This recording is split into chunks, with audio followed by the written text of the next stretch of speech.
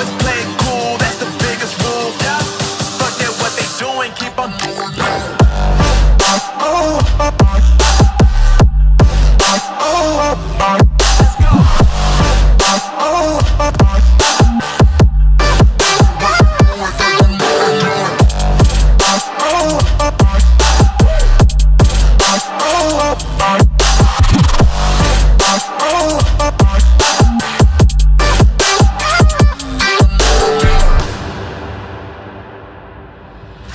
I, I've been making loot since like 22. Ask me how I made it right here in the booth.